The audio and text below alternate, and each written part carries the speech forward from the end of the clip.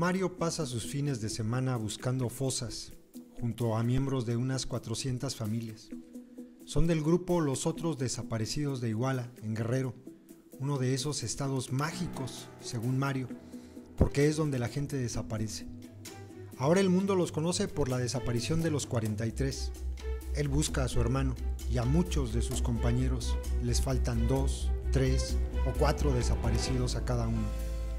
Pero los otros desaparecidos de Iguala no buscan solo sobre el terreno, sino que, sumándose a cientos de familias en todo el país, se han lanzado a las redes para hacer lo que los gobiernos no hacen, dice Mario. Las familias y los activistas coinciden en que las autoridades no buscan o lo hacen tarde, empezando por el plazo de 72 horas que tardan en arrancar el proceso, tres días que pueden ser claves para la víctima.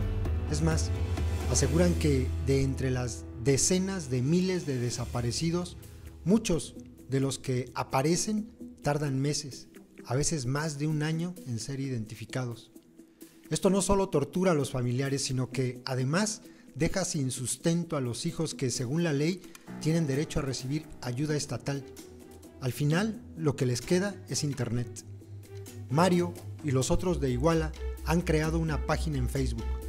Te buscaré hasta encontrarte. Unidos lo lograremos. Por esta vía les llegan avisos anónimos. Nos dicen, en ese cerro búscale. Y caminamos y caminamos hasta encontrarlos. Nos mandan mensajes y mapas de todo para ubicarnos donde puede haber algo. Así, integran una red donde los perfiles, páginas, grupos y cuentas de Twitter y Facebook que divulgan casos de desaparecidos se multiplican. En ellas, además, se divulgan artículos, fotos y alertas, se dan ánimos y pésames y a veces también celebran buenas noticias. La difusión que hacemos ha llevado a encontrar algunas chicas, Tuiteros las ven y avisan a los parientes. La Alameda, que pide no ser identificado por su seguridad, un colectivo, cubre diferentes estados y ciudades del país gracias a una red de colaboradores voluntarios. Ellos se encargan de apoyar y orientar a las familias sobre cómo denunciar o qué tipo de datos pueden divulgar en Internet para no ser extorsionados.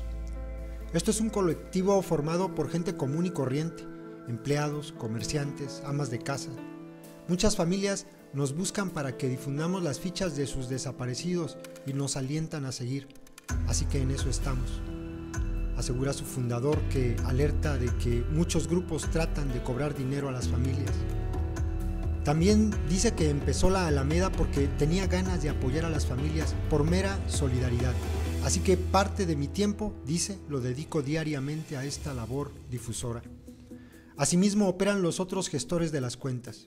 En sus ratos libres arman fichas, actualizan listados. Los oficiales no los actualizan y quedan casos en el limbo. Avisamos cuando alguien aparece o cuando alguien fallece. No es tarea fácil. Los desaparecidos son tantos que están desbordados y a pesar de que la red creció, no da para tuitear todos los casos.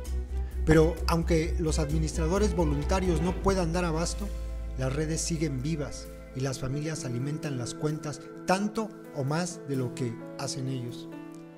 Es parte de una dinámica en las redes. Muchos nos dicen, oye, esa señora que estás difundiendo ya fue hallada hace un mes o ese señor fue encontrado sin vida.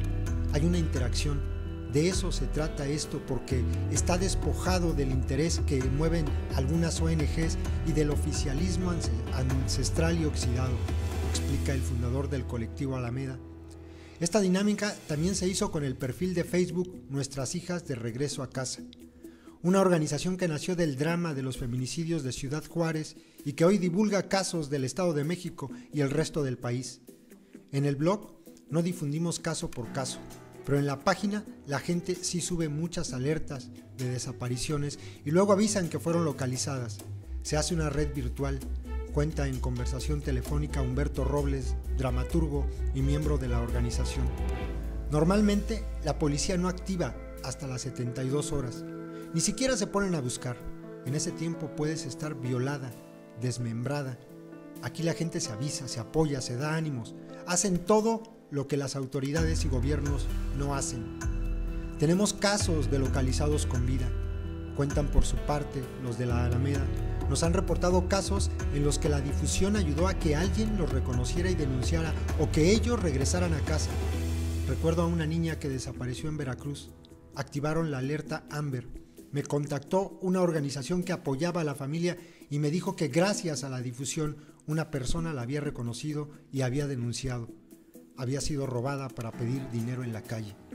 Cuando los localizan vivos es una alegría enorme y eso reconforta todo lo que vemos.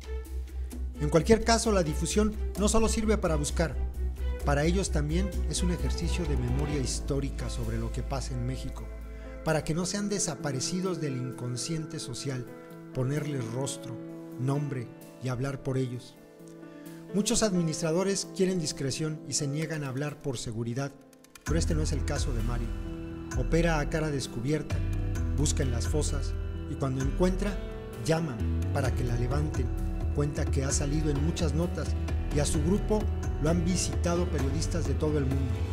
No teme que mostremos su perfil en redes, dice que no le afecta que ya esté expuesto. Ya estamos amenazados. Cualquier día nos matan por buscar a nuestros familiares y pues ni modo. También las fundadoras de nuestras hijas han luchado a cara descubierta. Aunque tuvieron que salir de Juárez por amenazas, aún hoy presionan a las autoridades. Humberto tampoco se resigna y desde la red divulga incansable su causa feminista con la inestimable perspectiva de un hombre. No solo desde la red, pues creó la obra teatral Mujeres de Arena, que recorre México y el mundo con licencia de copyleft. A veces ni me avisan de que la van a montar, pero lo que importa es que cuenten la historia. Y esta movilización en red puede hacer la diferencia juzgar por lo que proponen de la Alameda. Acciones pequeñas pueden ayudar mucho. Bastaría que una persona adoptara a un desaparecido para ayudar a su familia a encontrarlo y a exigir su regreso. Aunque no somos de pontificar, la gente ve lo que hay y cada quien decide si apoya o no. No puedes decirle a alguien que no sea indiferente. Mario quiere que las horas extra que le quedan sirvan para continuar luchando y en su Facebook se suceden testimonios que quiebran el corazón. Le digo a todo México que no nos dejen solos. No somos gente mala. Tan solo buscamos a nuestros familiares desaparecidos porque esto es un infierno.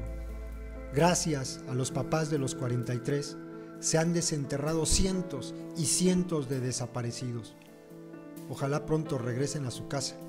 Nosotros, nosotros los apoyamos en su lucha hasta encontrarlos.